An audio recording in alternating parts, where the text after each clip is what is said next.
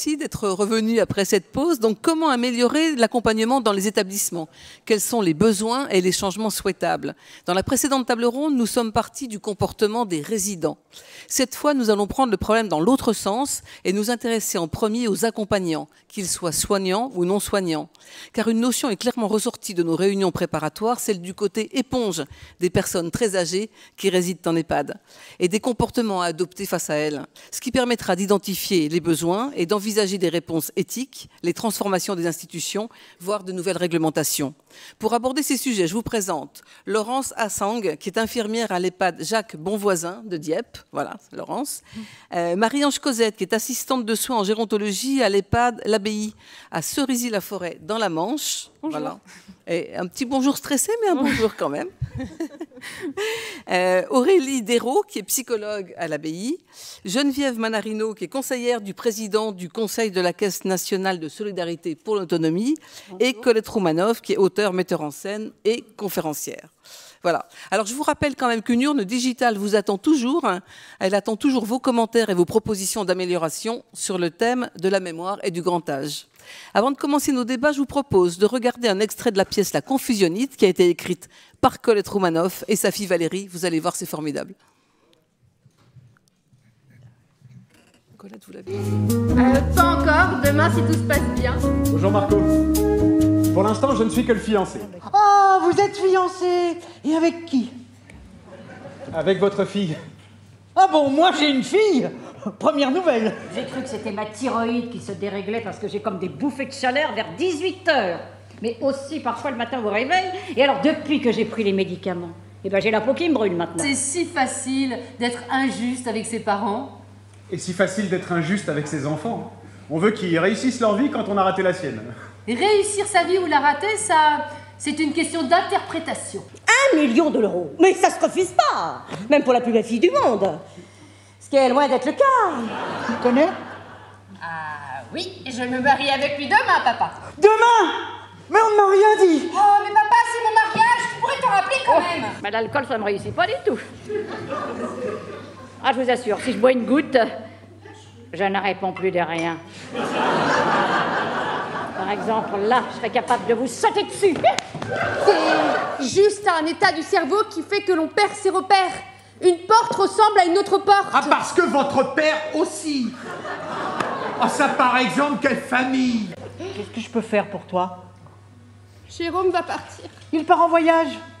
On s'est disputé et le mariage est annulé. Vous êtes mon complice. Ah non. Je ne me plisse pas.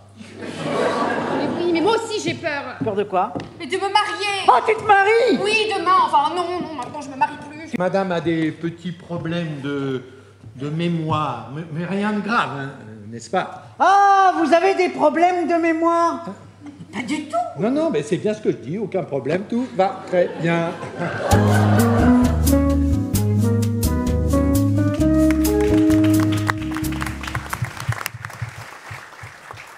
C'est une très jolie pièce que j'ai eu la chance de voir euh, avec Colette il y a quelques années, euh, que je vous recommande. Alors, on va commencer. Réaction de tout le monde. Laurence, quand vous voyez ça? Oui, ben, je vois des, Procès du micro. en fin de compte des, une situation de la vie de, de ce qu'on rencontre chaque jour dans, dans notre métier. C'est exactement ça. À peu près. À peu près. Bon, J'ai aussi eu la chance de voir la pièce puisque je l'ai regardée en DVD. Effectivement, il y a des, des, des mini-scénettes de ce qu'on rencontre dans notre vie de tous les jours en tant que professionnel. Marie-Ange. Bah oui, effectivement, c'est ce qu'on peut euh, apercevoir du coup euh, au travail et euh, aussi euh, quand on perd la mémoire, souvent on, on parle, bah il est triste, voilà la personne qu'oublie, bah, enfin que une proche est décédée ou quoi, mais là on peut voir aussi que ça peut être de la joie parce que le monsieur, à chaque fois, il est content de s'apercevoir que sa fille va se marier, donc au final, il a de la joie. C'est- de la joie à chaque fois c'est de la renouvelée. joie ouais, renouvelée. Voilà. Euh, Aurélie? Oui, alors euh, moi, ça me rappelle une situation que j'ai vécue juste jeudi dernier avec euh, euh, une, résidente qui me parlait qu'elle devait aller voir sa, maman. Et elle tournait en boucle dessus et elle m'a elle m'a un peu interpellée. Et, Et c'était très touchant parce qu'on se demande à chaque fois ce qu'on doit dire, est-ce qu'on doit faire diversion, est-ce qu'on doit aller plus loin, est-ce qu'on doit leur dire la réalité des choses. Et puis au final, comme disait je ne sais plus qui tout à l'heure, voilà, qu'est-ce qu'il y a à entendre derrière sa demande. Elle était très angoissée. Du coup, j'ai la chance d'être psychologue et donc d'avoir eu une heure pour, pour, pour l'écouter, pour, pour entendre tout ce qu'elle voulait me dire. Et c'est vrai qu'au bout de cette heure-là, alors même si elle m'a redit Vous êtes bien gentille, ma petite dame, mais je vais quand même aller chercher ma maman pour lui dire Elle va s'inquiéter. Elle m'a dit Mais vous savez, vous m'avez sauvé la vie. Et, c'est vrai que c'est important d'être dans l'ici et maintenant avec eux. Et ça rappelle l'exemple de la mémoire implicite de M. Nakache tout à l'heure, quand je, pense que ce qu'on leur fait vivre dans cette heure-là, finalement, c'est imprégné, c'est engrammé quelque part. Donc euh, voilà, je trouve ça assez important. Oui, ben, euh, pardon. Non, non, mais non, non, non, non, non, quand on vous donnera la parole, Colette. Alors, les auteurs, c'est quand même incroyable. je veux pas, je veux pas frustrer euh, l'auteur de, la pièce. Moi, je n'ai pas vu la pièce, mais je rejoins euh, ce que vous avez dit, le côté joyeux plutôt qu'on retrouve. alors, c'est sûrement pas tout le temps joyeux dans la réalité, bien évidemment, mais ce qui ressort sur ces extraits-là, effectivement, c'est bah oui j'ai le droit aussi de dire que je ressens les choses comme ça. Colette, Colette. Alors, est-ce que, est que vous êtes toujours séduite par votre pièce? Est-ce que vous l'auriez changée? Eh ben, Est-ce que vous l'auriez écrite autrement aujourd'hui? Non, on l'a jouée il n'y a pas très longtemps à Namur, devant une salle absolument délirante. Et on s'est dit vraiment, plus on la joue, cette pièce, plus on est content. Et les gens qui la voient sont souvent très contents. Et je, quand je fais des conférences, ça m'est arrivé il n'y a pas très longtemps, quelqu'un dit Oh, mais moi j'ai vu cette pièce il y a 5 ans, depuis j'ai aucun problème avec ma femme, tout, tout roule bien. Euh, c'est une pièce qui fait un déclic. Et un jour, j'avais même à côté de moi une spectatrice, elle disait, je suis venue vraiment, c'est parce que mon médecin m'a dit de venir voir cette pièce, mais vraiment, oh là là, vraiment, bon. Et après, elle m'a dit, ah, j'ai compris, il faut relativiser. Mmh. Et elle est partie avec le sourire. Donc en général, les gens quand sortent de cette pièce, moi j'adore regarder la sortie, ils ont tous le sourire. Juste en, quelques mots, elle date de quand cette pièce? Vous l'avez jouée combien de fois déjà? Alors elle date de 2014, on l'a montée en 2014 et on l'a jouée, je ne compte pas combien de fois parce qu'on aimerait la jouer plus, mais on la joue tous les, tous les ans. Tous les ans, je dirais moi. Est-ce qu'on la joue 25 fois par an? J'en sais rien. Avant, j'avais un théâtre à Paris, donc je pouvais la jouer plus. Maintenant, je suis une compagnie sans théâtre euh, attribué. Donc, je ne peux la jouer que si on m'achète, mais je la vends pas cher. Eh, appel au peuple. Alors, on, va commencer euh, cette table ronde par, euh, par les, différentes les expériences des, unes et des autres. Donc, euh, on va commencer avec vous, Marie-Ange, parce que vous, vous chantez toute la journée et vous n'avez pas, vous n'êtes pas mis le pied dans, la, la, chambre d'une résidente que vous êtes déjà en train de chanter. Vous chantez quoi?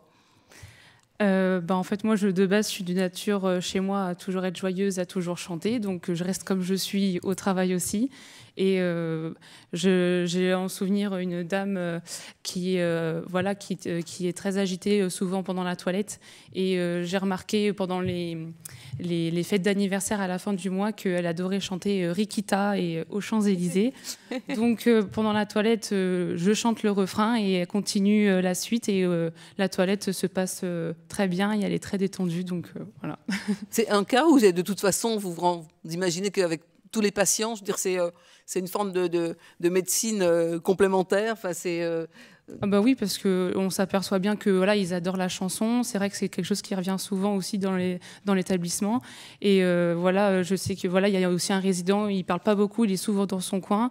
Euh, parfois, on lui propose un bain thérapeutique l'après-midi et euh, et on lui demande qu'est-ce que vous voulez comme chanson. Et il adore Johnny Hallyday, donc on peut parler de Johnny Hallyday pendant très très longtemps. Et là c'est un moulin à parole. donc votre répertoire, il est un petit peu tiré de nostalgie, par exemple? Oui, bah, oui, hein? du coup, je m'y mets.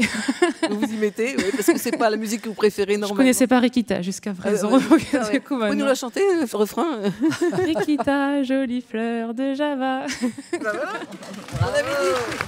Eh, je lui avais dit que je la ferais chanter. J'ai réussi à vous faire chanter.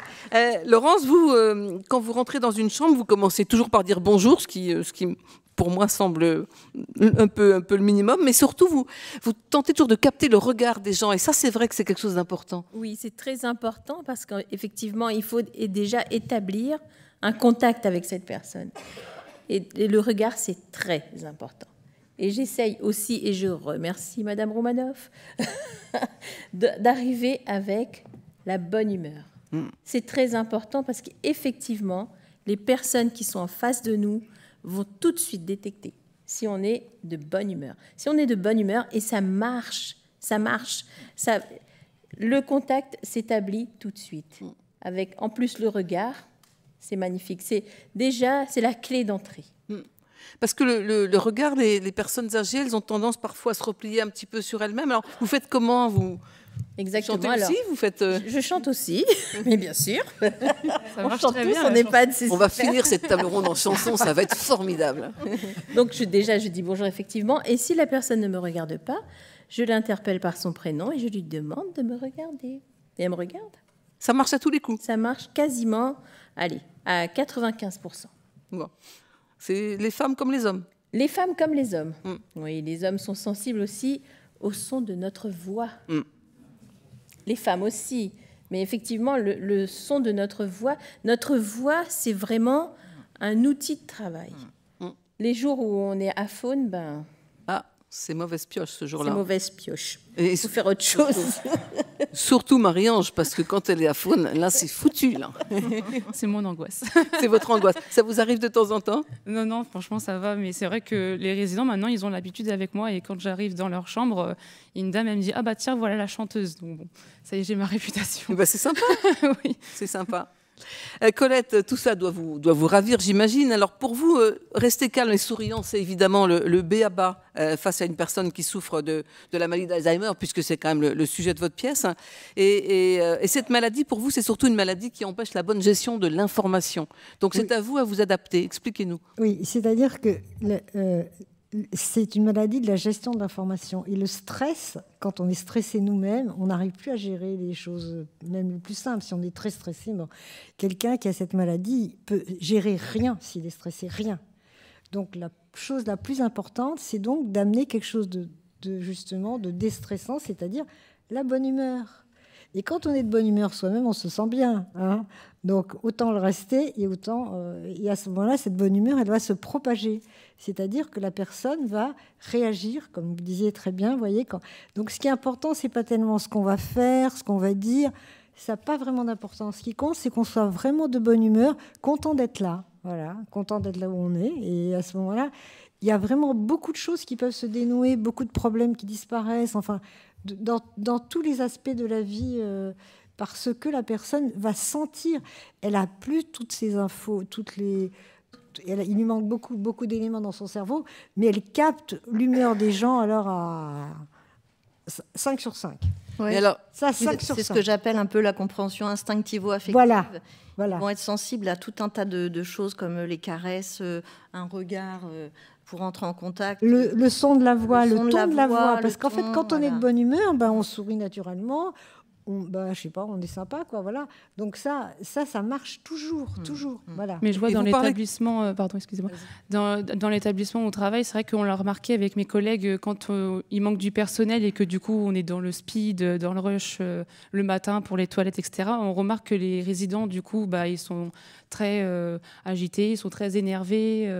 Voilà, ils sont très demandeurs, tout ça. Et quand bah, on est en nombre, tout se passe bien, même, euh, même plus ou quoi, et qu'on est détendu, et ben eux aussi sont très détendus et on s'est fait la remarque euh, plusieurs fois. Oui, mais ça, c'est normal. hein. C'est Mm. absolument, c'est la, c'est la base de la relation. Si vous êtes tendu, vous n'allez pas capter les. Quand on est tendu, soi-même, on capte pas bien les choses extérieures. Donc, euh, on peut pas, on peut pas y réagir. Alors que là, si on est détendu, si on voit qu'il y a, c'est ça, ça se passe là, tout, tout devient facile. Tout Oui, devient mais facile. il y a la détente, mais vous parlez aussi de la gestion de l'information. Est-ce que ça veut dire que pour simplifier la vie de ces personnes, il faut justement simplifier l'information, il faut adapter les messages? Il faut adapter absolument les messages à ce qui peut être compris. Par C'est pour ça que toutes les questions qu'on posait tout à l'heure sur quelqu'un qui est décédé ou qui va aller voir sa mère, bon, quelqu'un qui va aller voir sa mère, qui est décédé depuis je sais pas combien de temps, peu importe, ça sert à rien de, le remettre, de lui expliquer que ça sert à rien. C'est pas ça, parce que c'est pas la vraie demande. La vraie demande, il y a une angoisse. Et cette angoisse, il y a beaucoup de manières de l'apaiser. En tout cas, certainement pas de lui expliquer que la personne elle est bête, qu'elle a rien compris, qu'elle a oublié quelque chose. Ça, ça va pas, ça va pas du tout l'arranger. Ça va la mettre euh, encore plus, euh, plus, plus angoissée encore. Donc tout ce qui va apaiser l'angoisse, euh, d'abord un ton de voix calme, Voilà.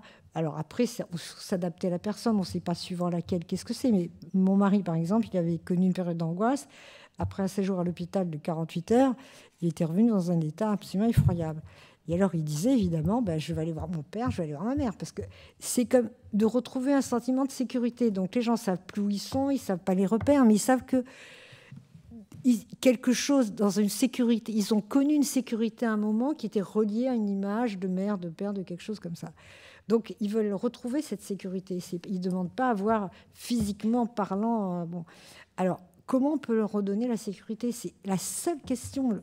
Le, seul problème qu'on a, c'est celui-là. Alors, déjà, si on s'énerve, c'est fini. Mm. Voilà.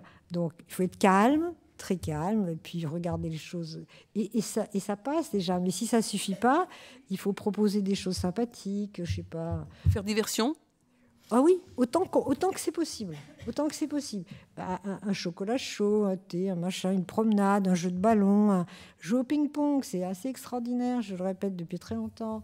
Ça marche très très très bien avec beaucoup beaucoup de monde et c'est agréable pour tout le monde. Jouer au ping-pong, faire quelque chose qui va les rend- leur donner un sentiment que, ils sont, que tout va bien. Voilà. On peut dire tout va bien, tout va bien, tout va très bien, tout va bien, tout va bien. Moi, j'ai ajouté souvent une phrase avec mon mari. Maintenant, tous les problèmes sont pour moi. Ah, ça me soulage beaucoup ce que tu me dis là. Euh, Quand vous entendez ça, euh, Aurélie, euh, cette, cette simplification, c'est ça le, le B à bas de, de ce qu'il faut faire et des messages que vous, sur lesquels vous travaillez euh, bien heureusement, euh, j'ai pas du tout la vérité. Il voilà, faut pas être dogmatique, euh, comme disait Monsieur Nakache. Euh, je, je crois qu'il faut faire avec. euh, on en parlait tout à l'heure avec ma collègue. Euh, chaque soignant est différent. Chaque soignant a sa, sensibilité. Et hum, il faut vraiment qu'ils apprennent à faire confiance à ce qu'ils ressentent parce que souvent, il y a des soignants qui viennent me voir et qui me disent euh, bah Aurélie, moi j'ai ressenti ça, j'ai eu tel sentiment, mais je pense que je. Voilà, c'est toi qui es psychologue, c'est toi qui sais. Mais, mais absolument pas. Les soignants, ils ne savent pas qu'ils savent. Mais ils savent pas à quel point ils savent. Et moi, je suis psychologue, j'ai juste de la théorie et des connaissances derrière qui me permettent peut-être d'en faire un peu des interprétations. Et encore, je suis très prudente. Mais les soignants, ils- très souvent, enfin, la plupart du temps, ils, ils font ce qu'ils f- ils, f- ils font exactement ce qu'il faut faire et avec ce qu'ils ressentent du moment. Et vraiment, je, je les invite à, à se faire confiance. Et eux qui sont au quotidien et, et, et dans l'instant, souvent, ils réagissent très très bien spontanément. Et ça, c'est très très beau à voir, quoi. Mm. Euh, Laurence et et Marie-Ange, c'est c'est votre expérience peu à peu qui, euh, qui vous amène et qui vous séré- sérénise? Parce que c'est pas évident d'emblée de face à une personne qui a, qui a des troubles importants de la mémoire, par exemple. Non, oui, c'est l'expérience. Ça fait, ça va faire sept ans maintenant que je suis aide-soignante et ça fait quelques mois que j'ai passé la formation ASG. Et euh, la, la formation ASG, justement, euh, m'a permis vraiment de plus prendre confiance en moi et dans ma pratique professionnelle parce que je me disais toujours, mais est-ce que je suis bonne soignante? Est-ce que je suis bonne soignante? Je me comparais souvent à mes collègues qui ont 10 ans, euh, 15 ans dans la structure et je me dis, mais euh, je suis pas du tout comme elle, euh, je suis moins bien. Et en fait, non, j'ai vraiment appris que chaque soignante est vraiment différente. Euh, on a tout notre vécu aussi qui, qui rentre aussi en jeu. Et, et, et du coup, euh, donc voilà. Ben, disons que moi, personnellement, ce qui me réconforte, c'est de voir le, le comportement qui va être généré en face, en fait. Qu'est-ce que, qu'est-ce que mon comportement à moi va apporter Miroir. À la personne en face, exactement. Et ça, c'est la plus belle récompense. C'est comme ça que je me dis, bon, finalement, aujourd'hui, j'ai bien travaillé. Vous nous donnez un exemple?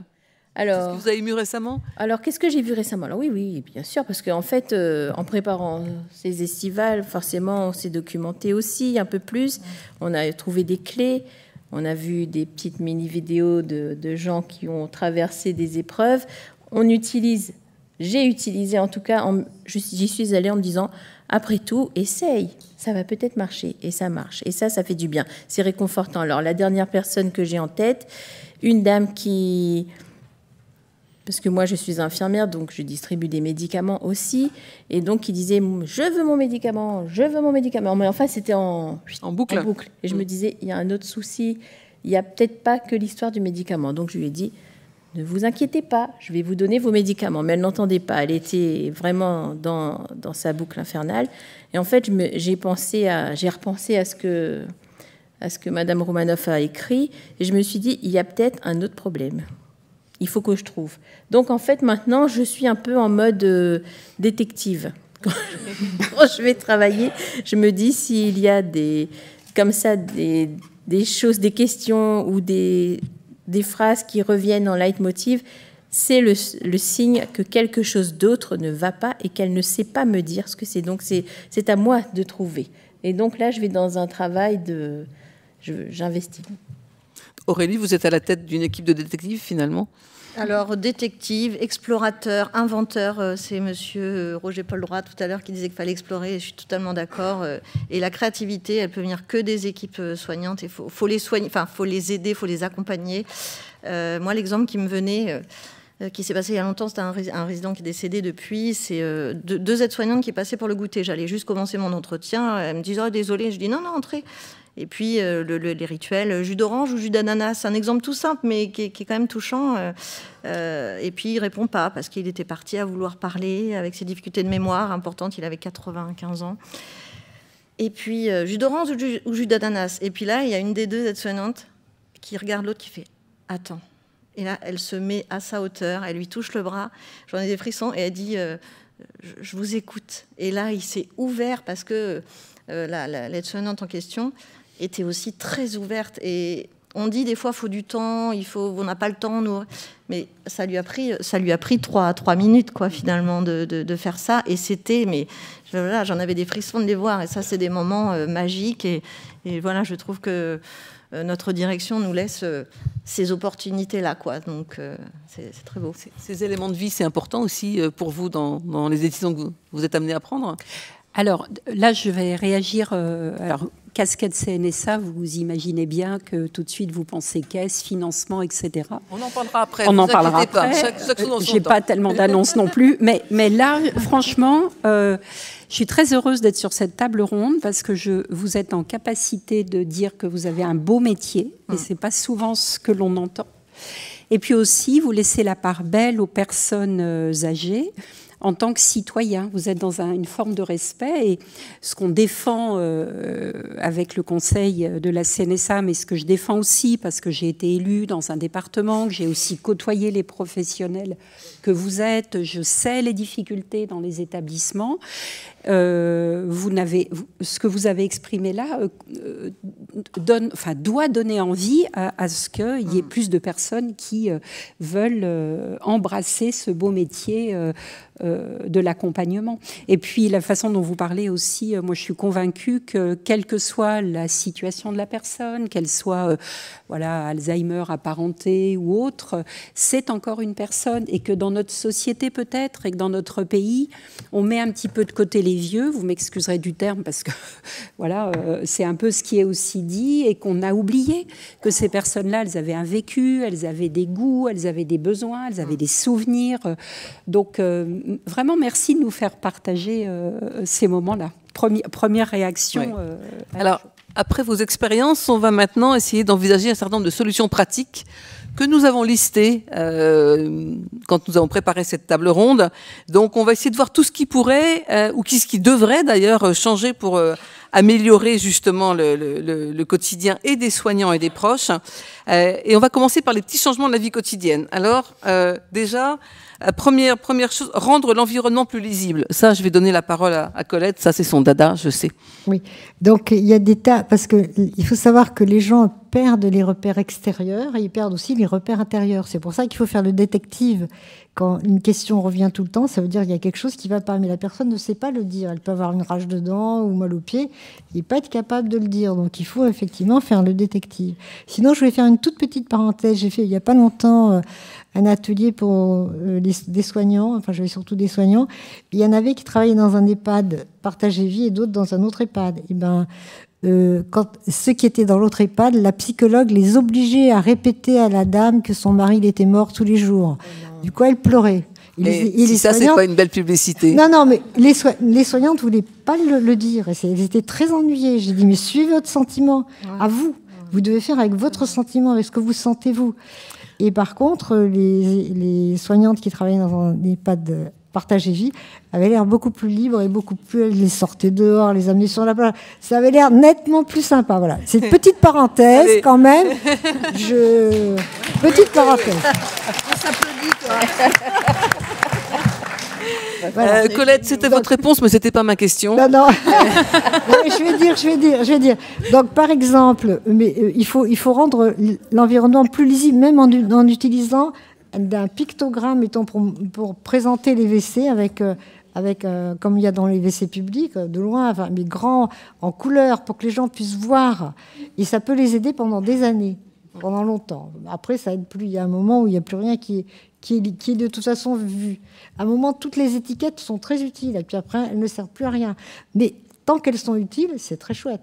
Alors, l'environnement plus lisible, mesdames, vos témoignages.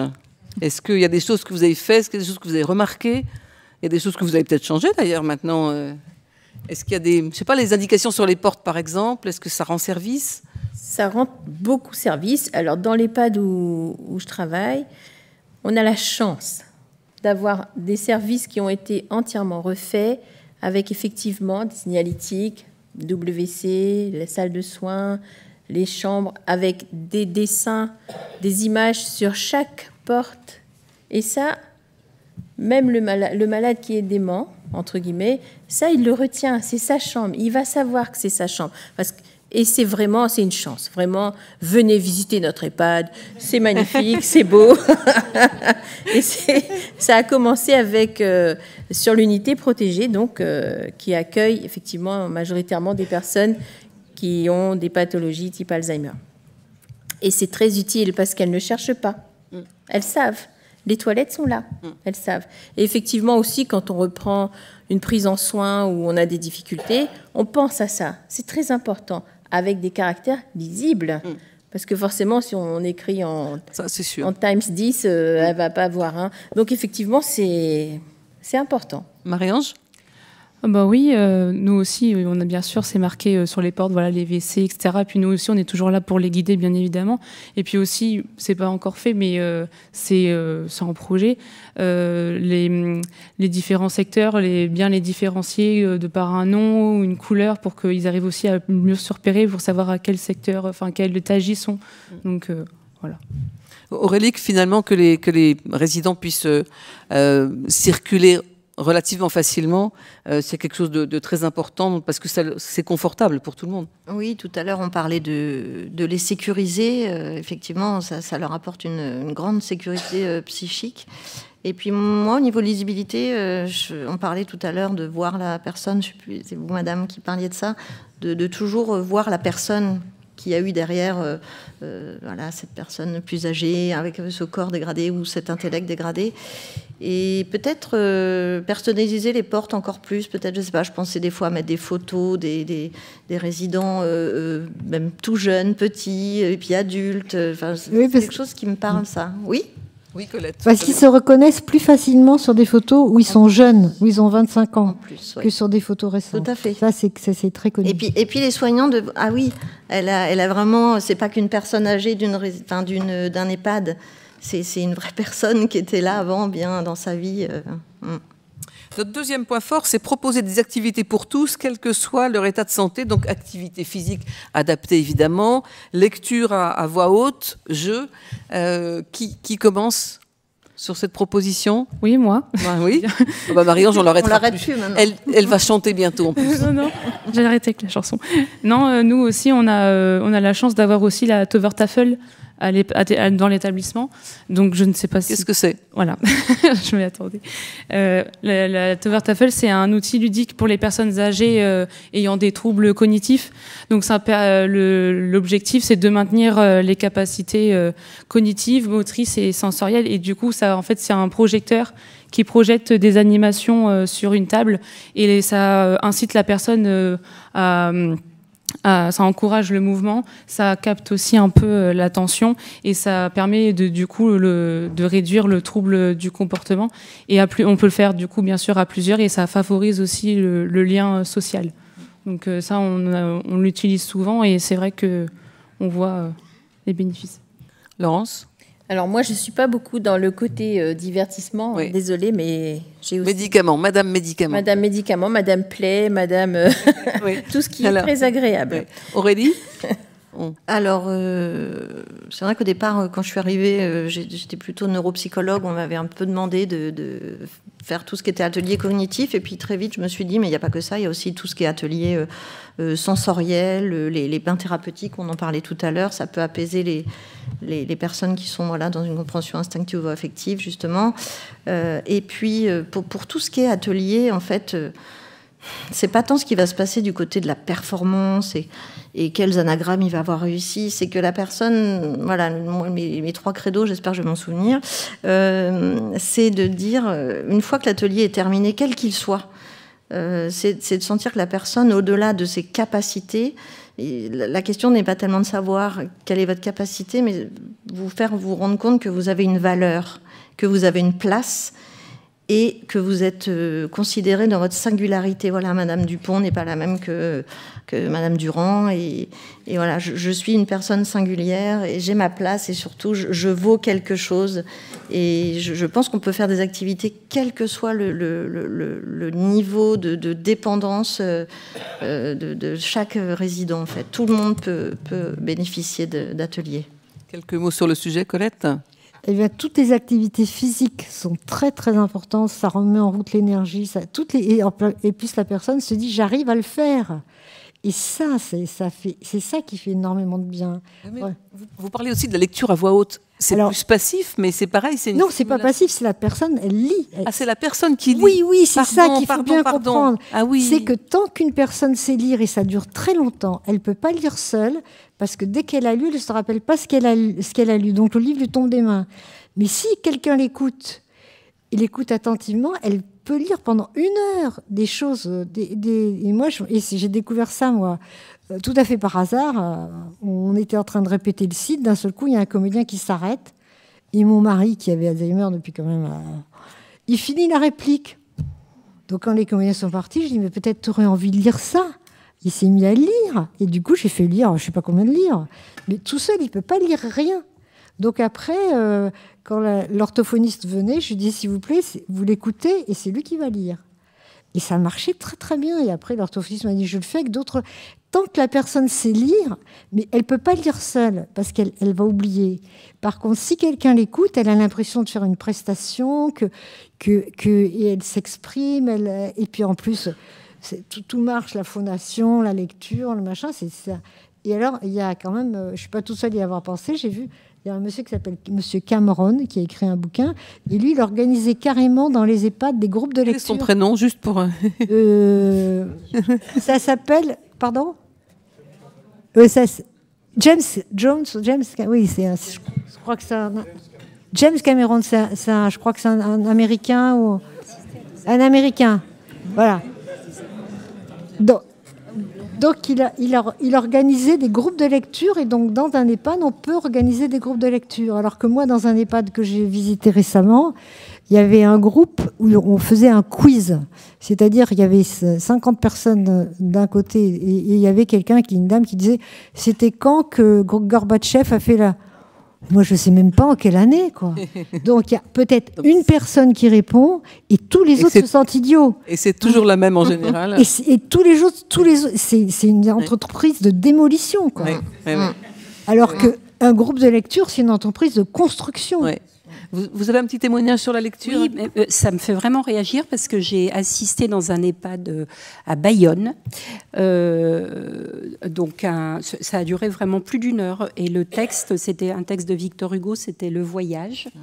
Et donc, les, les résidents, les habitants, lisaient chacun une partie du texte et la personne d'à côté euh, continuait et il préparait un spectacle comme ça. Et j'étais très touchée parce que de ce que vous racontez, ça me renvoie vraiment l'image.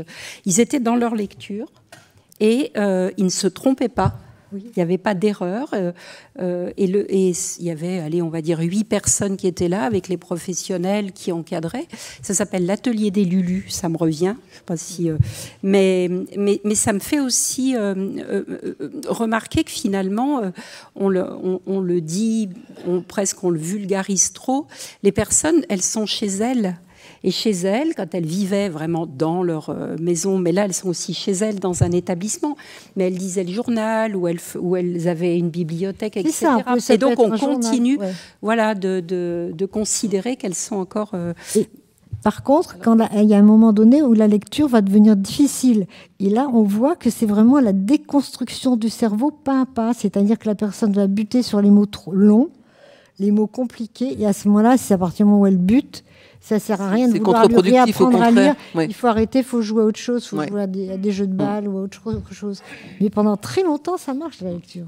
Alors, notre quatrième thème, c'est euh, s'organiser pour que les personnes fassent tout ce qu'elles sont encore capables de faire. Alors ça, c'était une grande, une grande discussion. Il y avait le manger-main, tout à l'heure, dont, on a parlé. Et, on avait parlé aussi du brossage de dents. Donc, euh, mesdames. Euh, oui, le manger-main, c'est vrai que voilà, nous, notre objectif quand même en tant que soignants, c'est que les résidents gardent le maximum de leur autonomie. Et ben S'ils n'arrivent plus à manger avec des couverts, et ben, ils mangent parfois avec leurs mains. Et c'est vrai que parfois, on peut avoir des remarques, que ce soit des résidents ou des proches. Ah ben non, mais ils mangent salement. Euh, voilà. Mais nous, on dit oui, mais ils mangent tout seuls. Et c'est ça qu'il faut retenir. Aurélie. Le brossage des dents, pardon, c'est aussi très important puisque ça fait partie de l'hygiène bucco-dentaire, c'est très important. Parce que c'est pas parce qu'elle a des troubles cognitifs que faut qu'elle ait les dents pourries. Hein. Mm. Donc, oui, c'est mieux, oui. Euh, et à côté de ça, euh, c'est un geste qu'on a fait tout le temps. Donc, je pense qu'on oublie peu. Et de toute façon, si la personne oublie, on peut aussi lui montrer, parce que le mime, ça marche aussi de, de l'accompagner en faisant, en lui disant un peu par comme ça, et en faisant nous-mêmes elle, nous imite. Mm. Donc c'est intéressant parce que bon, on s'amuse beaucoup et, je pense que c'est quand même plus agréable comme ça parce que je ne sais pas si vous avez essayé de vous laisser laver les dents par quelqu'un, c'est hyper mm. désagréable. Donc euh, oui, il faut garder ces, il faut garder ces choses-là. Aurélie? Moi, ça m'évoque, euh, tout à l'heure, euh, Monsieur Roger-Paul Droit parlait de, de tripes et Noémie Poirier parlait de petites filles. je trouve que dans, la maladie, euh, voilà, dans les démences, les troubles neurodégénératifs, il y a un retour, euh, finalement, ça, renvoie à tout, ce qui est archaïque en nous, tout l'infantile, et euh, les cris, la déambulation, les stéréotypies, le manger-main, voilà. Et ça, je ne sais pas si les directeurs se rendent compte à quel point ça, ça vient résonner aussi chez le soignant. Alors vous avez plein de stratégies, c'est formidable, mais ça, nous renvoie quelque part, je trouve, à nos, propres mouvements archaïques et avec lesquels il faut être euh, assez au clair parce que, ben, ouais, vous, enfin, je trouve que les soignants font, vraiment un, métier qui, ça, prend au trip, quoi. Ça prend au trip. Euh, il en parlait ce matin et je trouve que pour ça, peut-être l'idée, euh, ça, renvoie à des choses quand même un peu difficiles parfois, c'est peut-être de proposer des séances d'ADPP. Je sais que ma directrice est très favorable à ça, analyse de pratiques professionnelles, pour justement être bien au clair avec ce que ça nous fait vivre, nous, euh, de travailler dans un EHPAD. C'est quand même euh, assez chargé émotionnellement, c'est plein de moments joyeux, mais c'est plein de choses qui, qui, résonnent fort chez, chez, le soignant, voilà, par rapport à tout ça. Marianne, je vous dis que même les, autres résidents, ça leur pose un problème. Il n'y a pas que, que les familles qui, qui refusent cette, cette pratique bah oui, il y a certains résidents, voilà, ils, apportent quand même beaucoup de regard sur les autres. Oh, bah, un tel, il fait beaucoup de bruit. Oh, bah, un tel, il mange salement. C'est vrai que voilà, donc euh, la personne en elle-même, elle fait pas attention parce que voilà. Mais euh, c'est vrai qu'il y a beaucoup de remarques et du coup, ça crée des conflits euh, dans les résidents qu'il faut aussi un peu gérer. Donc voilà, on ne veut pas non plus isoler la personne. Ben, qui dérange, si je peux dire, les autres. Mmh. Donc on essaye de trouver des compromis. Quoi. En chanson. Ça passe toujours. Colette Oui, l'histoire de, de. Vous disiez des choses archaïques. En fait, quand, quand on arrive, enfin, il y a plusieurs façons de prendre les choses. Mais si on arrive à ce que quelqu'un se lave les dents tout seul, juste en lui montrant comme ça, comme ça, en tendant la brosse à dents au bon moment, puis en lui montrant le geste, c'est quand même assez magnifique. C'est une réussite. Donc on peut être fier, hmm. content. Voilà.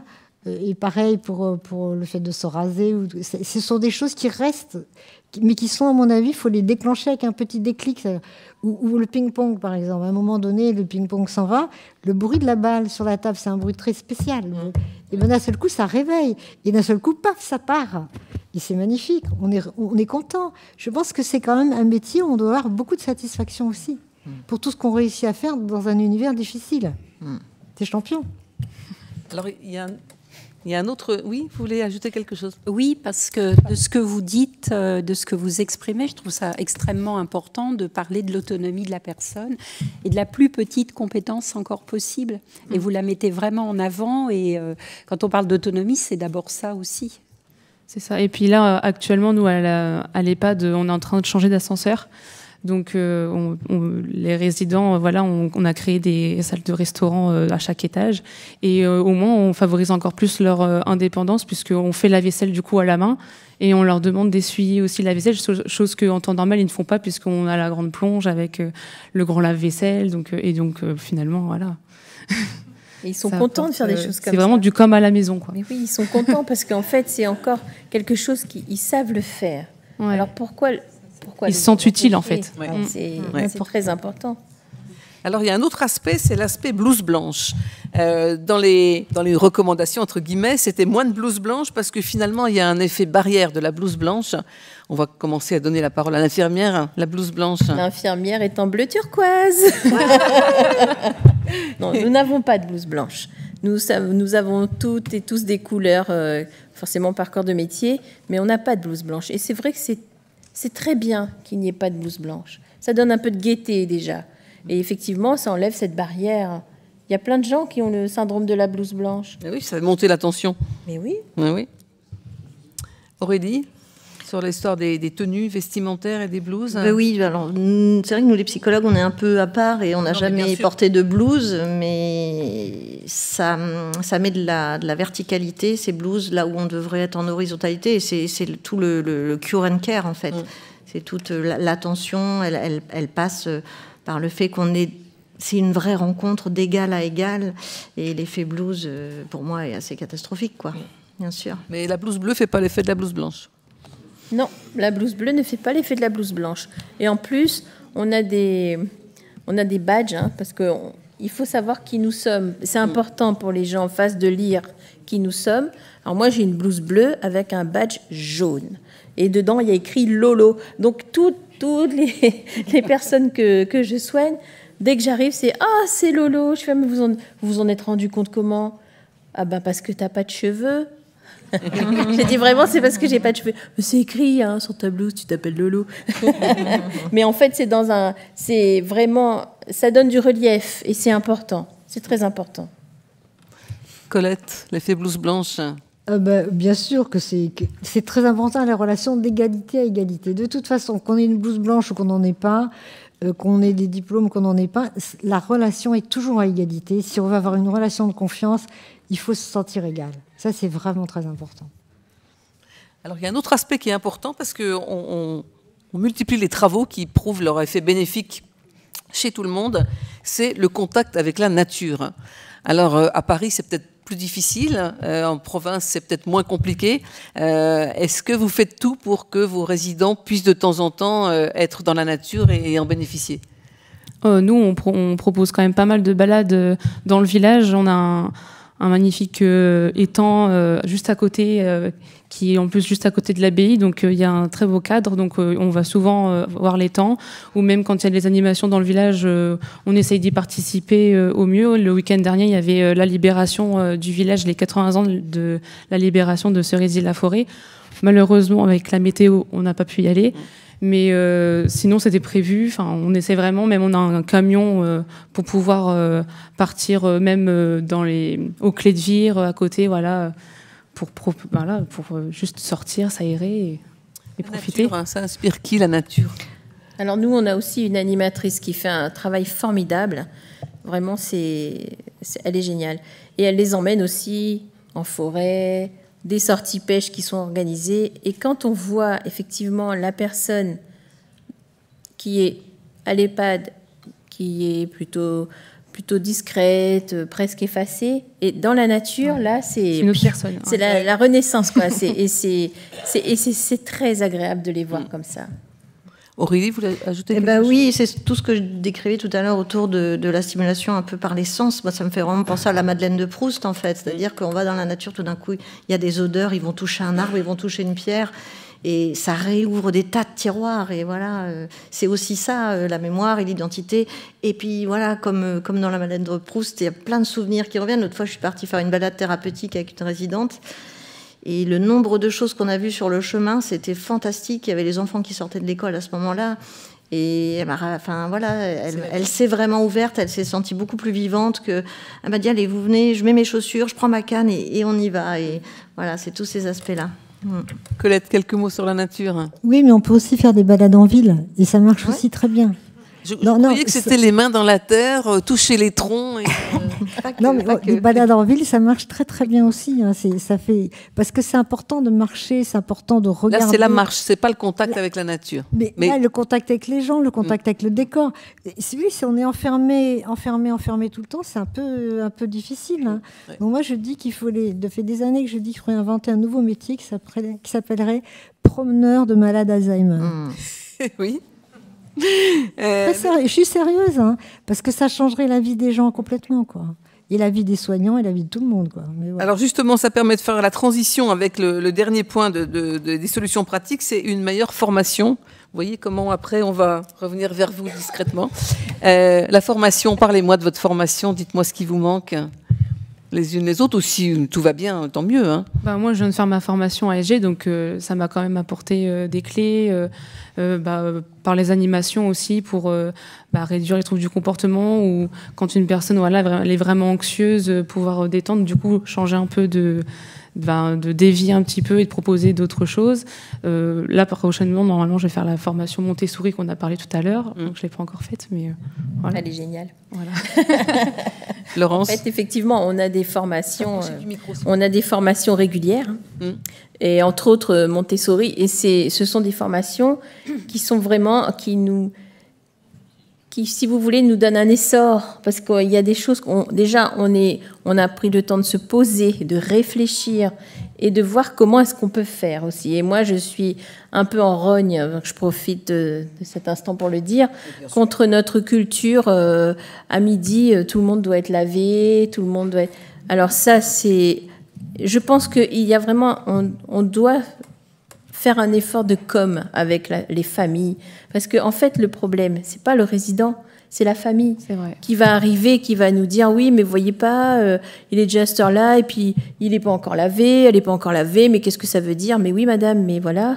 Formation elle, elle était en train de se reposer, donc je vais pas la réveiller brutalement euh, juste pour aller se laver, alors que au fond, qu'est-ce qu'on va Même si elle n'est pas lavée pour le, déjeuner de midi, ça fait quoi? Ça nous arrive jamais à nous de pas être lavée pour midi? Ça vous arrive jamais vous de faire une journée pyjama? Enfin, je veux dire, euh, quelquefois il faut.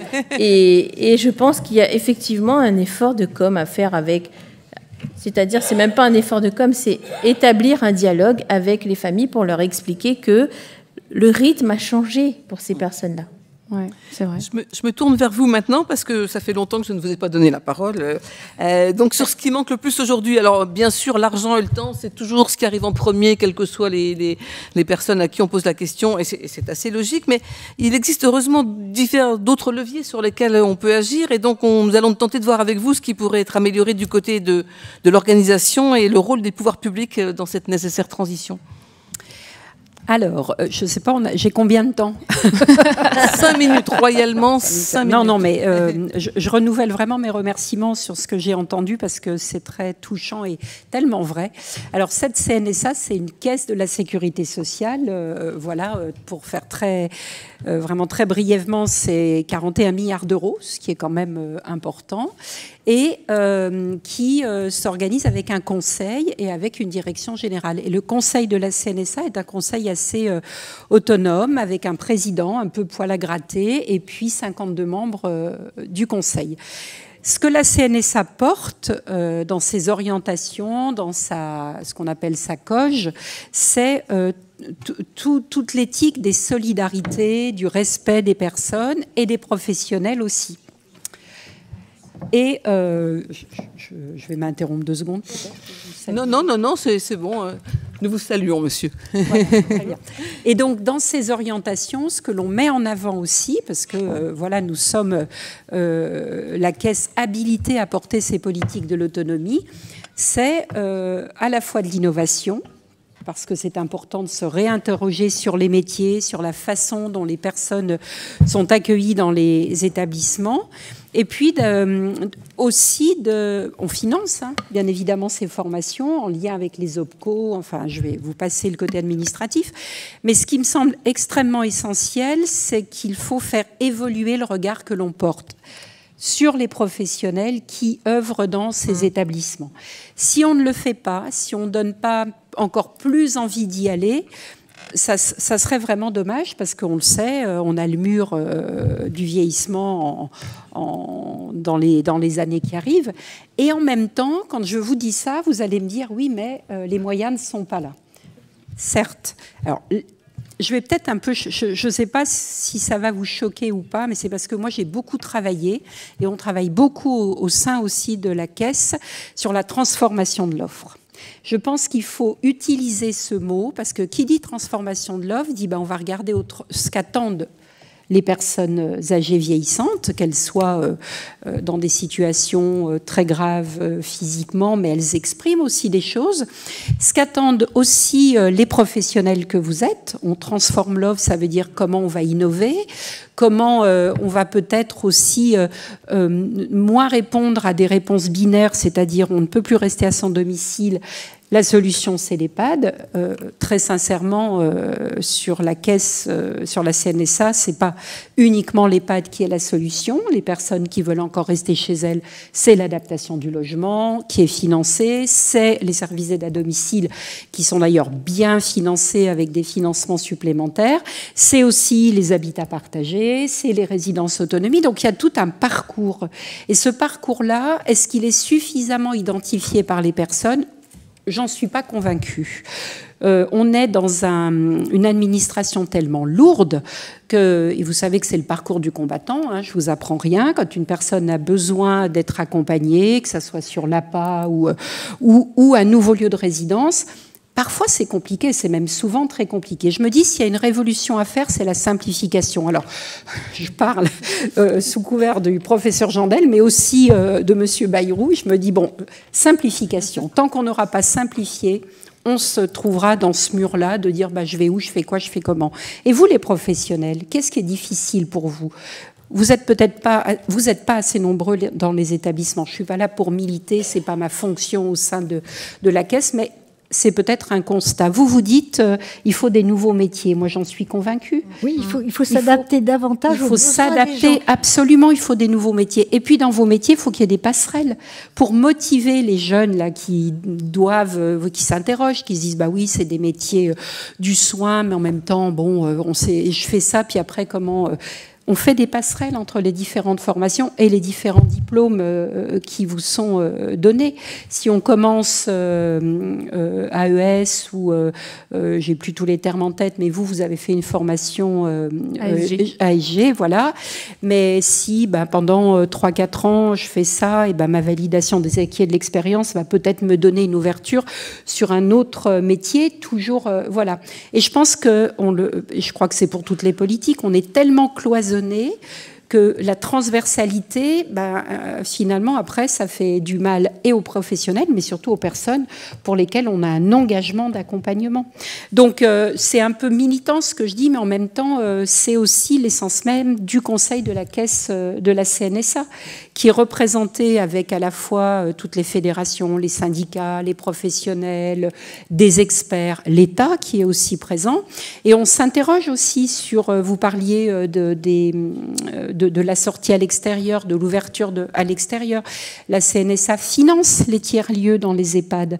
Moi, je suis allée visiter un EHPAD dans le Pas-de-Calais. Dans l'EHPAD, il y a une classe maternelle.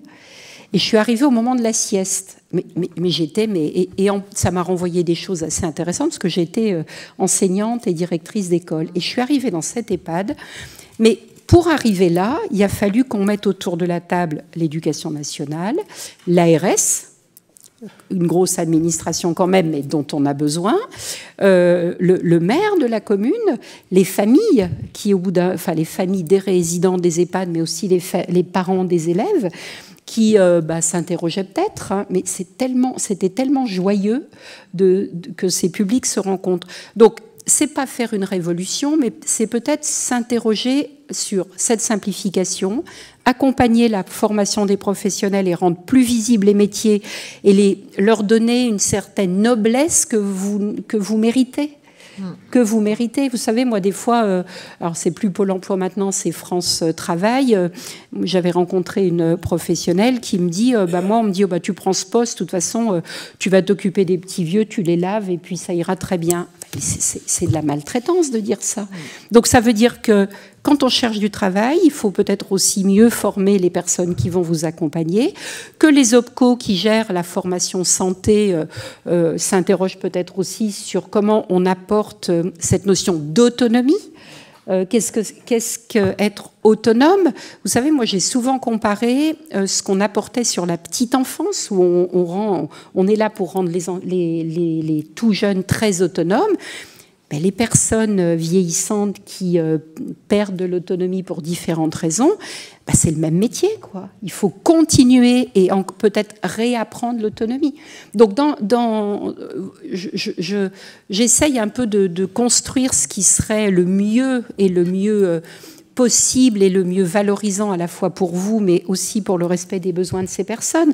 Et c'est vrai que la caisse a écrit et a signé cette convention d'objectifs et de gestion et dit voilà, on a ces 41 milliards d'euros. C'est un travail qui se fait en lien directement avec les départements et les ARS. Et puis moi, je rencontre des gens qui me disent bah, on ne connaît pas la CNSA, elle n'est pas représentée dans les territoires. C'est la seule caisse de sécurité sociale qui n'a pas d'antenne, euh, bien évidemment.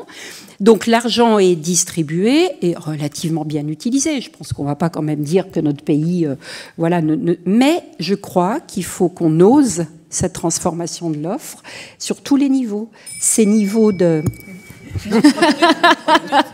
non, mais ce niveau de, formation et de rendre vos métiers valorisants, de repenser peut-être aussi euh, la façon dont vous êtes rémunéré, ça ne me gêne pas de le dire. Bon, euh, il y, y, a eu des avancées, etc parce que c'est aussi ça la réalité, et que l'on vous connaisse mieux. Alors moi, je me dis, euh, parfois, euh, on a vu des grandes publicités portées par l'État sur l'armée, sur euh, je ne sais plus quel métier, etc. À quel moment on va voir dans tous les, les, abris de bus de France une valorisation des métiers des personnes qui travaillent en établissement ou dans les services à domicile? C'est extrêmement important. Et puis, souvent, on, je termine là-dessus parce que je trouve que c'est c'est pas neutre dans toutes ces politiques qu'on veut mener. On parle souvent euh, du dernier kilomètre, parce que c'est un peu ce qui est exprimé dans les. Moi, je parle du premier kilomètre. C'est-à-dire au moment même où la personne, elle est plus en situation d'être seule ou de rester chez elle, etc. Il faut qu'au premier kilomètre, on lui trouve une solution qui va, une solution qui va lui convenir, le choix de la personne. Et, je, crois que c'est bien inscrit en plus dans les droits de l'homme, mais pas que. Hein. Il y avait eu aussi, euh, je pense, une charte autour de la maladie d'Alzheimer euh, il y a quelques années. Donc comment elle peut encore choisir et comment aussi on va lui donner cette, euh, cette solution qui va lui permettre de vivre mieux le plus longtemps possible.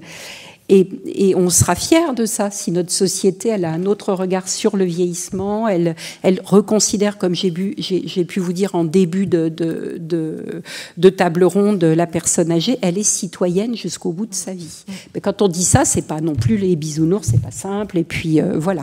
Mais il faut pas l'oublier. Merci beaucoup, on va s'arrêter là. Merci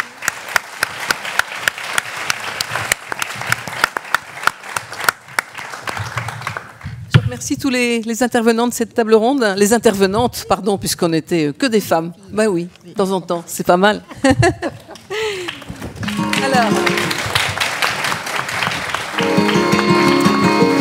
Maintenant, j'appelle le docteur euh, Claude Jandel, qui est euh, spécialiste de médecine interne et de gériatrie et conseiller médical auprès de la Fondation Partager Vie. Il va vous proposer un exposé interactif sur le thème Quand nos mémoires s'éloignent nos émotions demeurent. Vous pourrez répondre à quelques questions en flashant le QR code qui est, vous savez, toujours derrière le, programme qu'on vous a remis à l'entrée. Cher Claude, vous avez 15 minutes. Merci Anne, euh, merci à Marie de Touillon. On va être en duo, c'est la première fois qu'on procède ainsi par cette séance euh, interactive. Vous allez être mis à contribution sur le thème que j'ai intitulé Quand nos mémoires s'éloignent, nos émotions demeurent. Roger Paul, je compte sur lui pour qu'il compte le temps qui nous est imparti. Alors, Première chose, vous allez devoir euh, mémoriser, euh, on va vous montrer tout de suite, cinq mots. hein.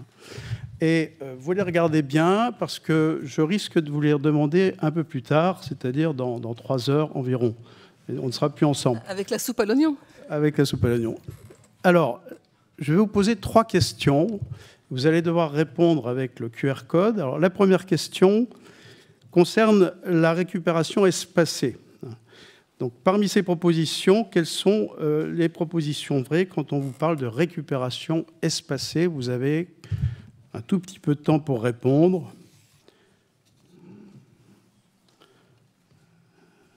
Je vois qu'il n'y a pas beaucoup de répondeurs.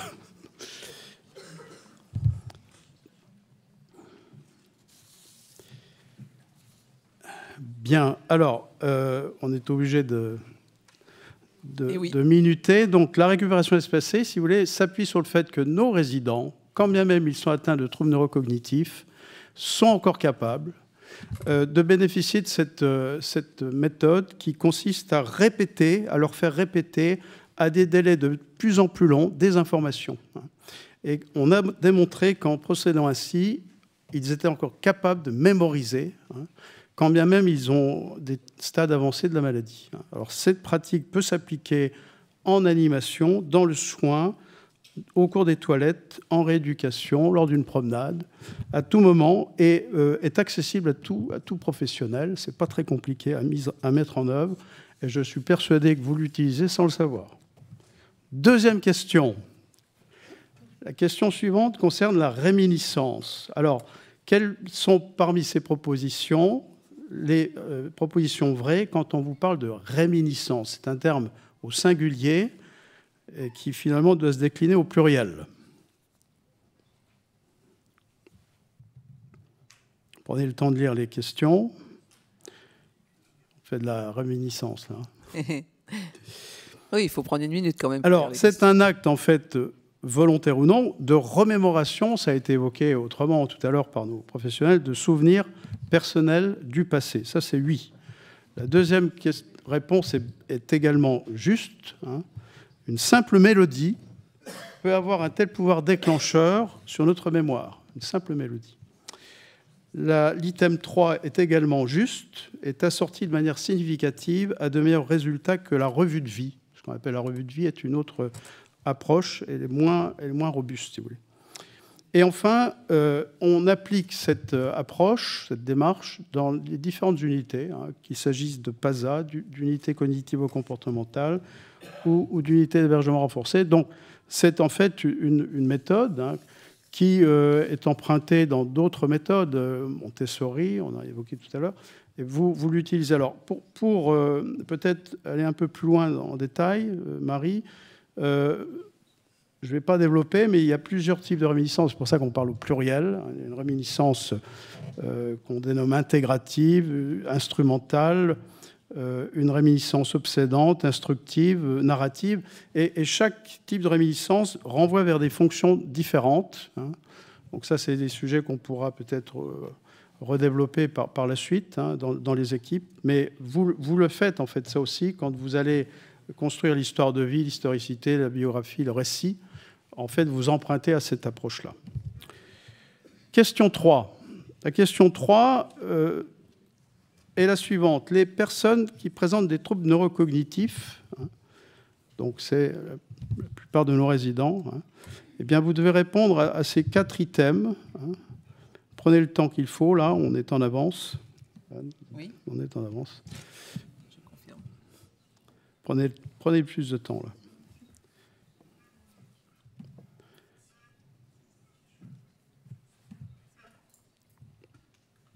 Vous ne serez pas noté. Hein.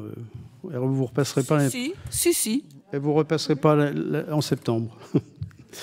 Alors, ça c'est très important, parce que, et ça a été aussi évoqué hein, dans, dans les différents témoignages, ils sont capables de percevoir et de comprendre les connotations sensorielles hein, et émotionnelles du matériel musical. Ça c'est très important, et nous allons chanter, chers collègues, juste à la fin. Deuxièmement, les émotions suscitées par la musique facilitent l'encodage de nouvelles informations. Ça, c'est très important également, j'y reviendrai. Troisième question, et le troisième item est également juste. Les effets émotionnels de la musique exercent des effets positifs sur l'humeur et le comportement. Ça, toutes les études l'ont démontré. Et enfin, l'écoute de la musique de Mozart peut induire une amélioration du raisonnement spatio-temporel. C'est ce qu'on appelle l'effet Mozart. Et pas Beethoven. Non, Mozart. Et je vous invite euh, à, à réécouter la, la sonate en Ré majeur KV 448, qui est la, la- la sonate qui a permis de démontrer que sous l'effet de cette euh, musique, par exemple, les patients épileptiques faisaient moins de crises épileptiques, que les patients dépressifs étaient moins dépressifs. Voilà, c'est ce qu'on appelle le pouvoir émotionnel de la musique, très important. Alors, euh, Ma- Marie, si vous voulez montrer peut-être cette image, effectivement, on connaît mieux aujourd'hui les relations entre euh, le pouvoir de la musique à créer des émotions. Vous avez à gauche les, zones du cerveau en rouge qui sont stimulées par la musique. Et à droite, vous avez tous les circuits euh, neuronaux qui, font communiquer nos, cellules nerveuses dans le cerveau, qui font le lien entre les émotions induites par la musique et la mémoire. Tout ça est mieux connu aujourd'hui, je ne vais pas développer. C'est une approche euh, neurobiologique euh, qui, est démontrée, hein, et on connaît mieux maintenant les mécanismes par lesquels finalement la musique euh, crée ces émotions et, facilite les émotions dans un contexte d'émotion. hein. Alors, Marie, si vous voulez bien, je vais vous reposer les cinq mots tout à l'heure. Je suis persuadé que vous êtes très performant et que vous avez la capacité de remémorer ces cinq mots. En tout cas, je l'espère, parce que vous allez comprendre pourquoi je l'espère. Alors, on peut passer à la suivante. Alors, vous avez encore une question là. La question, c'est parmi ces termes, vous avez six termes ici, c'est très important. Deux sont synonymes.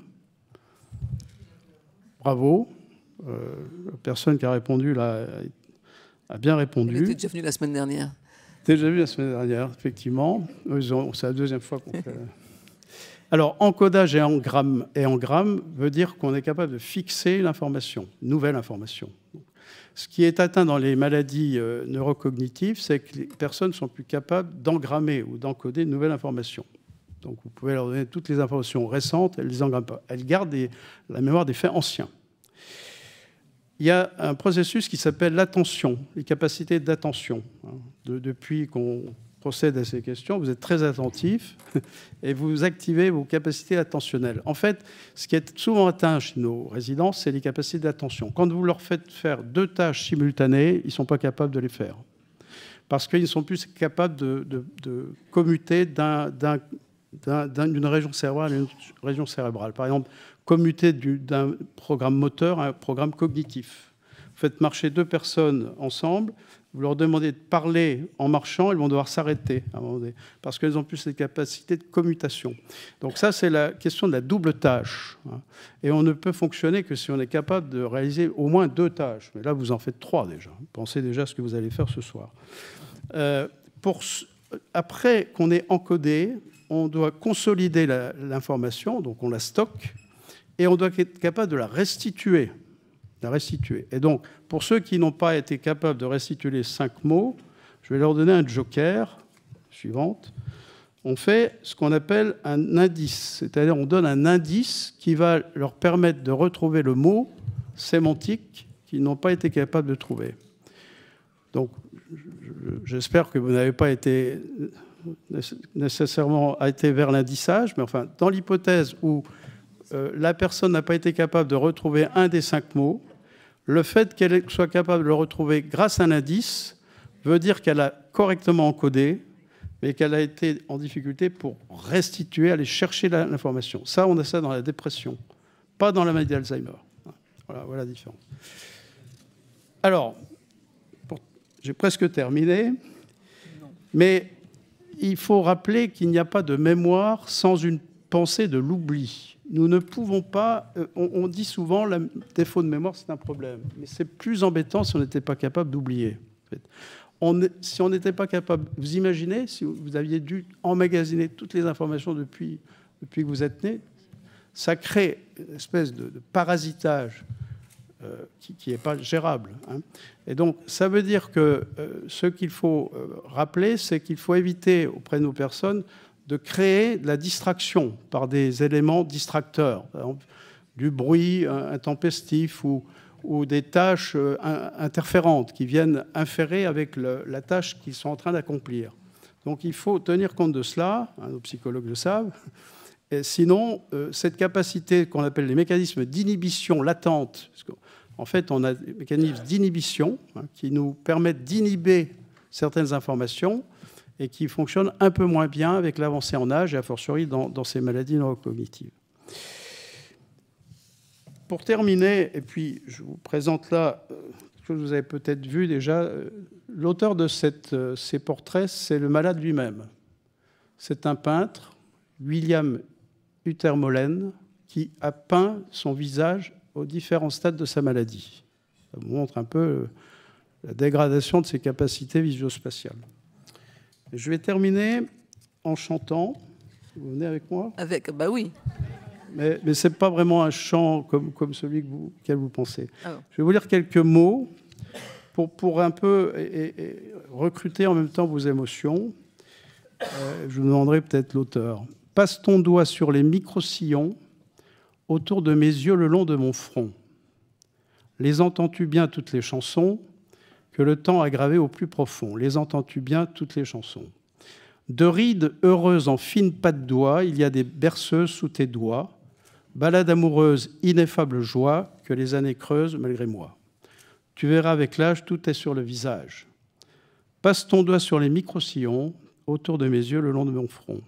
Les aimeras-tu toutes les chansons que le temps a gravées au plus profond? Les aimeras-tu toutes les chansons? Sur ma peau vinyle, tu suivras le lit de tristes et fragiles mélodies, des nuits difficiles, des blues infinis, traces indélébiles de la vie, la poussière, les rayures, tout est sur la figure.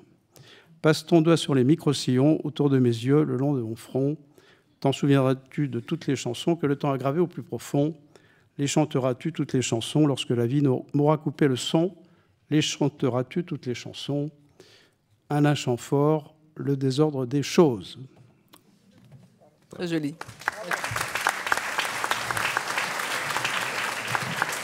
Et alors Et alors là, je dois féliciter Claude. On a de l'avance. Je ne vous croyais pas capable de faire aussi court, Claude.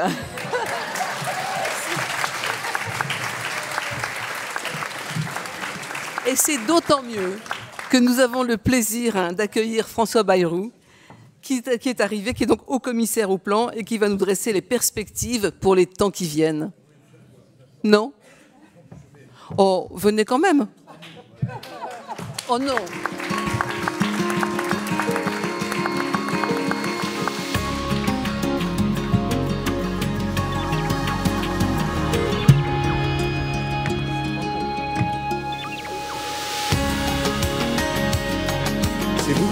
C'est quelqu'un qui ouvre. Ça y est, c'est. Euh...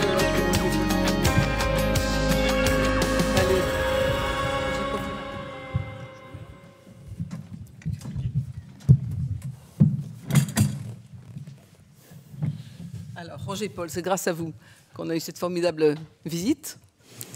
Ah ben, c'était pas très simple dans l'emploi du temps de la journée. Je l'imagine, et c'est pourquoi, au nom en mon nom propre, bien sûr, mais au nom de tous et, de la Fondation Partage et Vie et de Dominique Coudreau, président du conseil d'administration, et de Delphine Langlais, directrice générale de la Fondation, je tiens à vous dire combien nous sommes heureux et honorés que vous ayez pris le soin, dans un emploi du temps que les circonstances rendent infernal alors qu'il est simplement d'habitude surchargé, euh, de venir et prendre de votre temps euh, pour nous dire, au titre de votre compétence de haut commissaire, il y a bien d'autres qu'il faudrait mentionner, mais ce que vous avez à nous dire du vieillissement de la population en général, de ce que vous pensez euh, du grand âge en particulier à l'intérieur de ce vaste problème, et puis aussi du personnel des EHPAD. J'ai lu dans les documents euh, du Haut Commissariat, notamment, que le modèle des EHPAD était à vos yeux, en cours de, d'amélioration De mutation, oui. De mutation positive, que le personnel était non seulement, qui est souvent une mauvaise image, était un modèle de, de bientraitance, de bienveillance, de dévouement, et nous l'avons vu tout au long de cette de cet après-midi à travers les, les, témoignages et les échanges. Voilà, et je ne vais pas manger sur un temps de parole qui est vôtre. Merci beaucoup. Alors j'étais très content parce que quand je suis entré dans cet hémicycle, j'ai découvert que la parité avait encore des progrès à faire. Parce que si j'ai bien compté, il y avait six intervenants à la tribune et les six étaient féminines. Oui. Euh, donc euh, je me dis un jour ou l'autre, peut-être, euh, si on se bat beaucoup, la parité pourra progresser. Cette plaisanterie mise à part, bon, c'était pas une journée facile parce que j'ai fait entre hier après-midi et aujourd'hui le département de Lyon, le département de la Nièvre, le département de l'Isère et le département du Puy-de-Dôme. Et puis retour, euh, retour pour vous, euh, parce que je voulais être là, parce que Roger Paul Droit m'avait invité, et parce que le, la question que vous traitez est pour moi a beaucoup de titres. Vous n'en avez dit qu'un. Mais euh, bien sûr, je suis commissaire au plan, et donc on voit la perspective. Et on voit ce que va signifier en 4 ou 5 ans l'augmentation de près de 2 millions de personnes euh, de la tranche d'âge 75-84. On passe de 4 millions et quelques à 6 millions et quelques en, très peu d'années. Je ne crois pas que nos sociétés aient jamais connu une mutation euh, numérique de cet ordre. Euh, mais je suis aussi maire. Je suis aussi président d'ag- d'agglomération. Donc je suis aussi président d'un CCAS important dans une ville qui compte euh, euh, 80 000 personnes et dans une agglomération qui en compte euh, 160 000. Euh, et puis je suis aussi euh, un citoyen, un père de famille et un fils qui a vu euh, ce qu'était l'arrachement, la désorientation euh, par des euh, accidents de vie euh, qui nous plongent au cœur de, cette euh, attente et de ce désespoir parfois. Et donc je, vais essayer de dire ce que je pense et alors comme vous avez centré, centré sur la mémoire et le grand âge, je vois ma mère qui avait fait un AVC à 90 ans, et puis l'AVC a dégénéré dans une euh, perte complète d'autonomie physique et de mémoire. Et ma sœur et moi, ma sœur est médecin, euh, elle, vivait dans la, même maison, euh, qui était ma maison natale. J'habite juste à côté. Et elle n'a pas entendu la chute de ma mère pendant la nuit. Et donc, elle ne l'a trouvée que le lendemain matin tard. Euh, et donc, le nombre d'heures passées, docteur, euh, faisait, pardon de vous raconter ça, mais puisque ceci est notre vie. Euh, et donc, c'était terrible parce que j'étais cette année-là en campagne présidentielle et j'avais fait la bêtise, euh, je crois que c'était une bêtise, euh, euh, d'offrir à ma mère un abonnement aux chaînes de télévision en continu. C'était la première campagne présidentielle aux chaînes de télévision en continu. Et, et elle retransmettait les meetings. Et la de ma mère devant les méchancetés que mes adversaires disaient de moi, peut-être j'en disais aussi d'eux, je ne dis pas le contraire. Euh, et, et je lui ai dit des phrases qui pour elle n'avaient pas le même sens que pour moi. Donc elle avait 90 ans. Et euh, je lui ai dit oui, ils veulent me tuer, mais c'est pas grave. Et elle, elle n'a pas entendu la phrase euh, métaphorique. Elle a entendu la phrase comme si elle signifiait euh, un vrai assassinat et une vraie mort de son fils. Et elle rêvait, la nuit, elle me racontait ça, de ce que... Je n'ai pas connu mes grands-parents, ils étaient tous morts avant que je ne naisse. Mais son père, à elle, euh, il était arrivé parce qu'il avait bu, on est dans le monde rural profond, et il était maquillon. Euh, et euh, un jour, on avait ramené son père qui avait picolé sur une brouette. Et elle rêvait que c'était son fils mort qu'on amenait sur une brouette. Euh, et ma sœur et moi, on s'était juré que jamais maman n'irait dans un EHPAD. Euh, et puis il a bien fallu se rendre à l'évidence qu'on ne pouvait pas faire face. Et nous avons vécu ça, elle et moi, avec un très grand sentiment de culpabilité.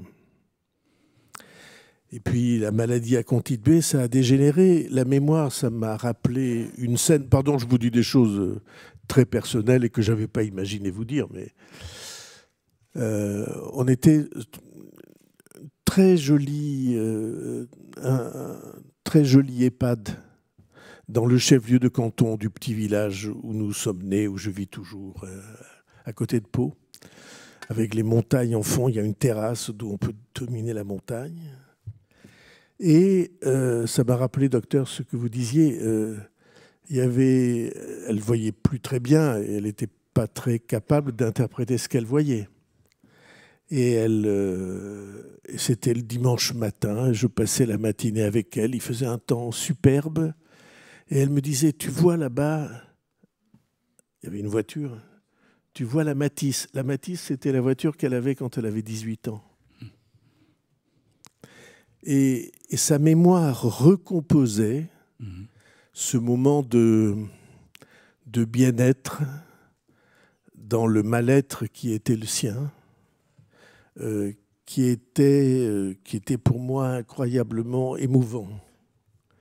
Et elle était vraiment euh, au bout. elle, me disait Qu'est-ce qui me reste? Dix ans à vivre. Il lui restait quelques semaines seulement, ou quelques mois. Et c'est pour dire que ce que j'ai éprouvé là, que j'éprouve tous les jours dans nos, dans nos maisons de retraite, on a à Pau des maisons de retraite publiques que nous avons construites avec le CCAS, qui sont formidables du point de vue, je crois, de tous les points de vue, y compris du point de vue du prix de journée, qui est, très bas. Euh, cette euh, expérience de voir une personnalité, vous disiez, Madame, euh, exprimer quelque chose, bien que dans le, désarroi de, la perte des facultés. Mais elle exprimait quelque chose autour de la mémoire. Je crois que vous aviez une phrase tout à l'heure sur l'écran que j'ai cru euh, euh Quelque chose se reconstitue quand il n'y a pas grand-chose d'autre, pas d'espoir, pas de faculté d'expression. Et c'est la mémoire qui, de l'expérience que j'ai eue, il n'y a que ça qui reste, mémoire lointaine, la mémoire immédiate disparaît, l'identification des lieux et des personnes disparaît. Mais ce cœur de personnalité, d'émotion, vous avez dit, euh, mémoire disparaît, les émotions disparaissent pas, demeure dans, dans cette... Euh,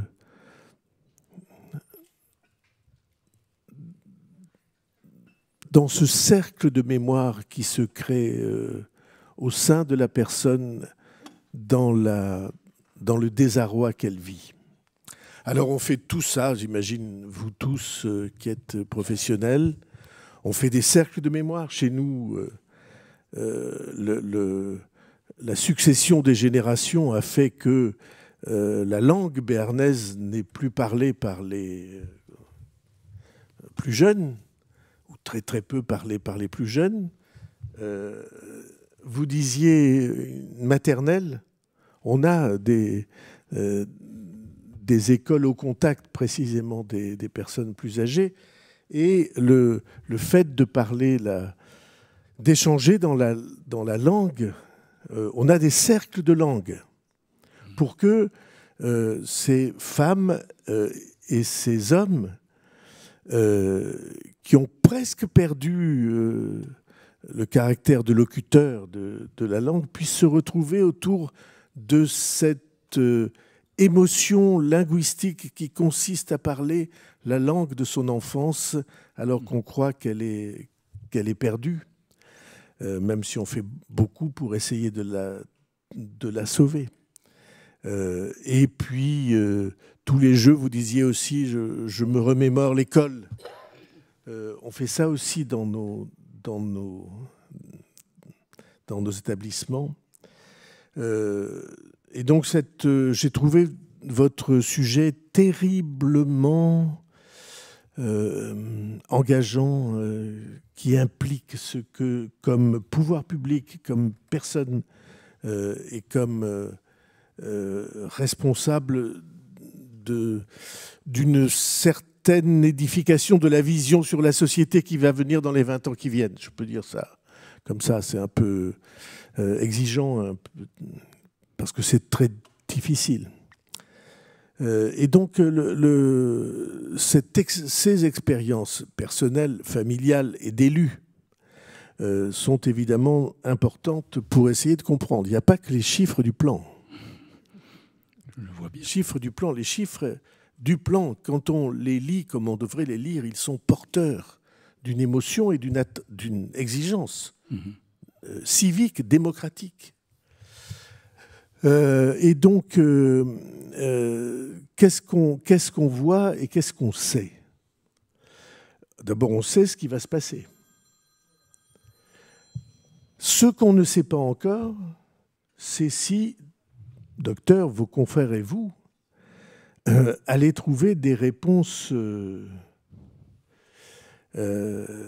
thérapeutiques à ces syndromes euh, qui sont si terriblement obsédants.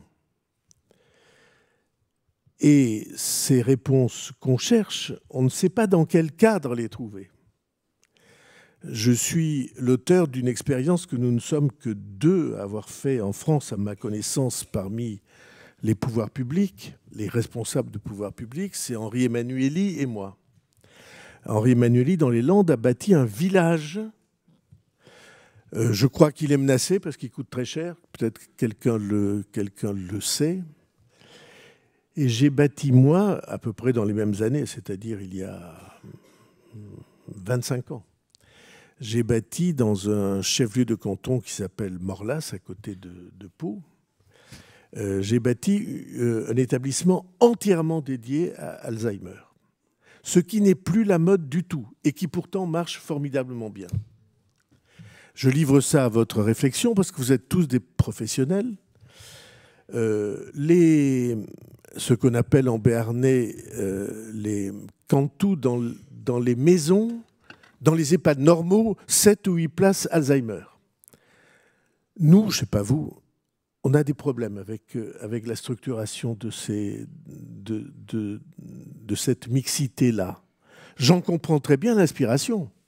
Je vois très bien pourquoi pour éviter la ségrégation, euh, le sentiment d'exclusion, le désespoir des familles. Mais dans cette maison entièrement dédiée à Alzheimer, et qui était menacée il y a encore quelques mois, mhm. parce que l'ARS, précisément, euh, trouvait que c'est. Euh, enfin, certains, sans doute, au sein de l'ARS, trouvaient que ce n'était pas la mode. Et que donc, pour baisser les prix, euh, il fallait sortir de ce modèle-là. Or, vous avez tout un personnel qui est absolument formé, qui, euh, qui est rassurant pour les familles.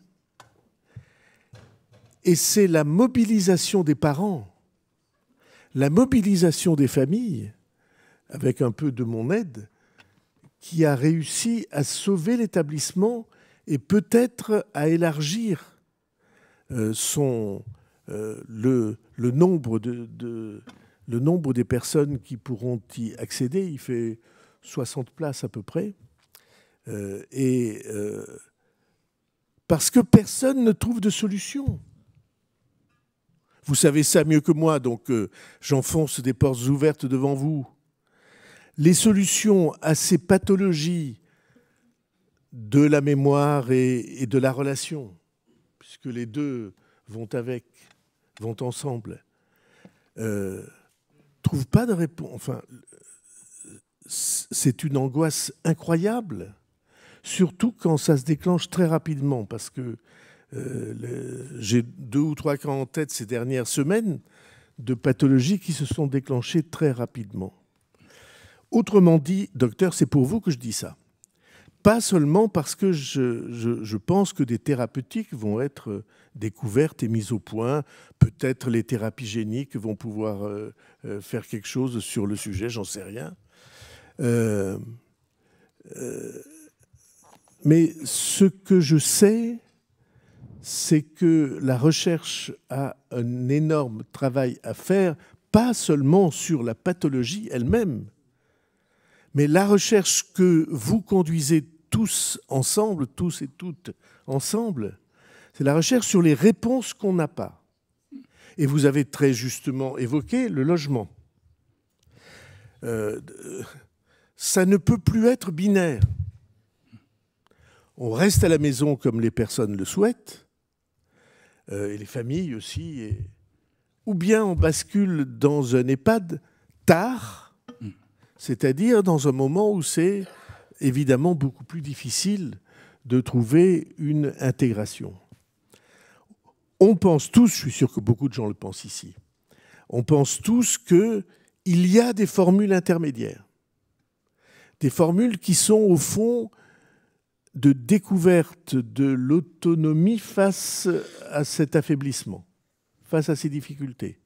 Le maintien de l'autonomie. On a beaucoup mis en valeur dans, l'étude qu'on a faite pour le plan, euh, que la génération dont le nombre explose aujourd'hui des 75 à 84 ans, c'est la génération des 68 arts. Il y en a peut-être quelques-uns ou quelques-unes ici. C'est-à-dire des gens qui ont considéré que l'autonomie, c'était le plus important dans la vie, que la liberté de, de faire ce qu'on veut de soi-même, c'était le plus important dans la vie, et qui aujourd'hui se découvrent euh, dans, dans, dans une aventure de vie qu'ils n'ont pas prévue et pas préparée du tout. Et les pouvoirs publics sont exactement en face de ça. Et nous sommes, je, je, le disais, tous persuadés qu'il existe des formules qui sont des formules de, de, de transition entre euh, le domicile euh, totalement euh, assumé et libre et la dépendance. C'est un problème, en tout cas chez nous, c'est un problème pour les EHPAD. Parce que les EHPAD ne se vivaient pas du tout comme le lieu de la dépendance, comme étant euh, peuplé uniquement de, personnes dépendantes. C'était des maisons de retraite, comme on disait. Et c'est un changement absolument complet. J'ai un souvenir, je ne sais pas comment il faut dire, euh, euh, impressionnant. J'étais très jeune ministre et je visitais le Maroc. Et le roi du Maroc de l'époque, les yeux dans les yeux, pendant une discussion longue, J'étais un jeune ministre et c'était le roi du Maroc. Il me dit, Monsieur Bayrou, au Maroc, il n'y a pas de maison de retraite. Et quand il y aura des maisons de retraite, il n'y aura plus de Maroc.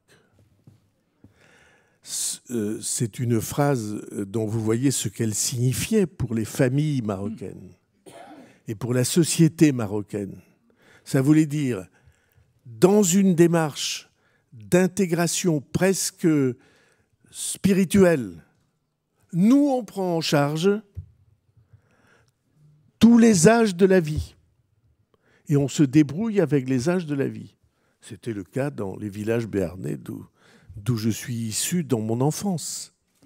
On prenait en charge tous les âges de la vie jusqu'à la mort, y compris. Moi-même, à 20 ans, j'ai mis des, des hommes et des femmes que j'aimais euh, dans la tombe, avec, les mains qui sont là. On prenait intégralement en charge tous les âges de la vie. Mais c'est aussi que les personnes mouraient. Et que aujourd'hui, évidemment, en raison de la, capacité de soins euh, qui est la nôtre, euh, heureusement, elle demeure. Et donc, cette, ce défi-là de la transition entre l'indépendance et la liberté et l'indépendance, euh, aujourd'hui, mérite, je crois, un très gros effort et un très gros effort de recherche. Et les pouvoirs publics aussi, parce que peut-être ça coûte moins cher. Ça sera plus libérateur et ça coûtera moins cher. On n'y est pas, hein En tout cas, chez nous, on a fait des progrès, beaucoup, mais on n'y est pas. Euh, on a fait des progrès, notamment parce que j'ai lancé dans notre ville, euh, il, y a, il y a cinq ou six ans, un plan anti-solitude. Parce que les personnes âgées, pas qu'elles, mais pour un grand nombre d'entre elles, euh, le veuvage, la difficulté à se déplacer, les problèmes économiques rendent la, la vie sociale beaucoup plus difficile. Et donc on a, avec 200 associations dans la ville de Pau, nous avons bâti un, programme de lutte contre la solitude avec repérage à tous les moments de la vie euh, de la commune. Repérage des personnes qui sont menacées de solitude et on va jusqu'à euh, aller les chercher pour les amener dans des manifestations, y compris sans qu'elles sachent où elles vont aller. Le jeu, c'est un jeu. Euh, on dit le bus sera là, sera au pied de la, de la résidence, euh, et, on va vous, et on va vous faire découvrir quelque chose. Alors c'est de la musique, c'est du théâtre, c'est des chanteurs passés de mode, c'est des enfants euh, qui font des scénettes, c'est mais la vie culturelle, parfois la vie sportive, euh, euh, est, une occasion d'échapper à la solitude.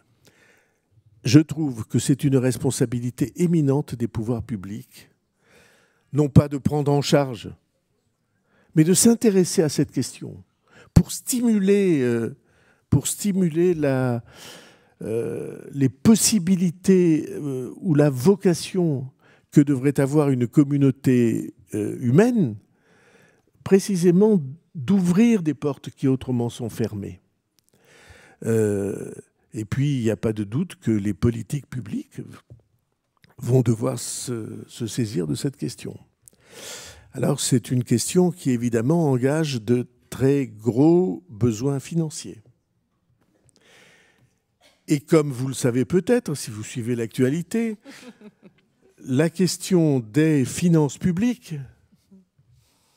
euh, notamment sociale, est une question qui est posée et qui va évidemment, dans les mois et les années qui viennent, euh, être euh, un obstacle de taille à la manière dont nous organisons notre avenir, quel que soit, quel que soit, je souhaite que ça ne soit pas trop, mais enfin, quel que soit euh, les, choix qui, vont être faits dans les, dans les jours qui viennent par euh, la société.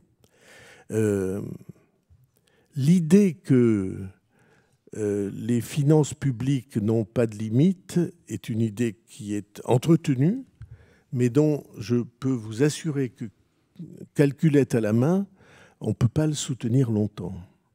Ce qui veut dire qu'il va falloir mieux utiliser et utiliser différemment et penser différemment euh, les ressources publiques. Et précisément, vous êtes au cœur de ça. Les métiers qui sont les métiers du, soin, de la prise en charge, de l'accompagnement. Euh, ces métiers-là ont besoin de reconnaissance. Et tout à l'heure, vous disiez de publicité sur les abribus. Hein? D'abord, il y en a des publicités sur les abribus. Vous avez dit je n'en vois pas. Euh, il y en a quelques-unes. Moi, en tout cas, j'en ai, vu.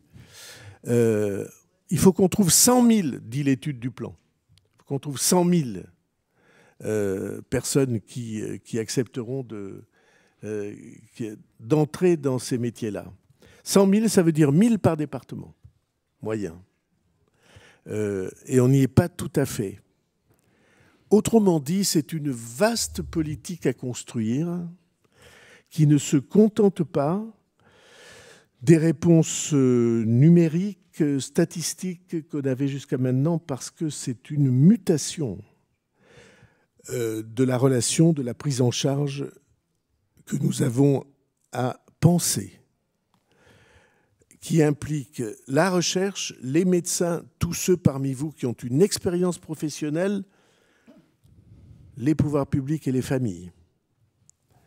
Je m'arrêterai sur ce dernier point.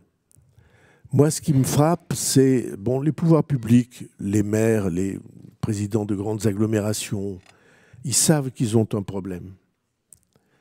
Euh, les, euh, les philosophes savent qu'un problème existe.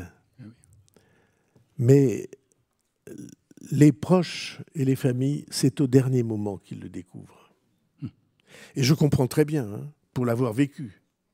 N'avais aucune envie d'imaginer que des drames de cet ordre puissent arriver. Ce que j'imaginais, c'est que ça durerait longtemps et paisiblement, comme chacun d'entre nous, euh, de manière heureuse, consciente euh, et paisible. Mais ce n'est pas du tout ce qui s'est produit. Je trouve que les familles, mais ça c'est votre boulot si j'ose dire, hein, c'est votre vocation, euh, on n'est pas averti, on n'a pas de, pas seulement d'information, mais, mais de dialogue autour de ces sujets. Ce sont des sujets qu'on repousse parce qu'ils sont tabous, si j'ose dire. Et quand on est une euh, une fondation qui s'appelle Partage et Vie. Il me semble qu'il y a là un chapitre très important, sans vouloir vous donner plus de travail que vous n'en avez, et sans pouvoir vous garantir plus de ressources que vous n'en avez, parce que comme, comme je viens de le dire, euh, on va, euh, mais il me semble qu'il y a là quelque chose pour que cette question ne soit pas seulement celle des professionnels, des scientifiques, ni même des pouvoirs publics, mais que ça devienne une question de, intérieure à chacun d'entre nous et à chaque famille. Alors ça fait beaucoup de boulot, mais je suis très heureux d'avoir partagé euh, des réflexions désordonnées avec vous sur ce sujet.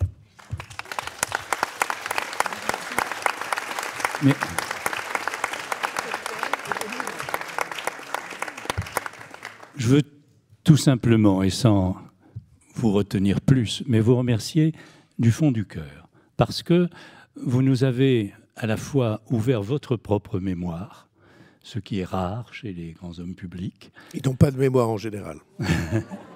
voilà, mais vous l'avez, vous l'avez fait avec euh, vérité et pudeur, j'ai envie de, dire, tel que je l'ai ressenti, et je pense que je ne suis pas le seul.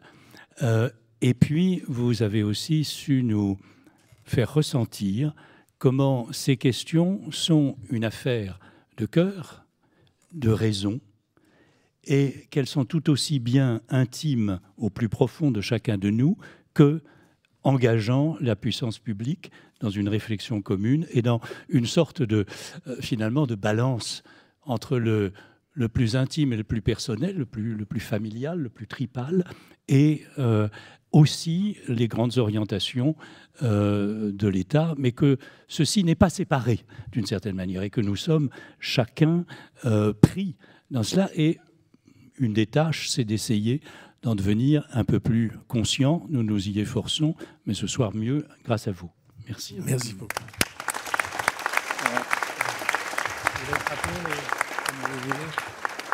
Je suis juste là pour une dernière information pratique. La librairie est toujours en place et surtout un cocktail vous attend. Merci à tous.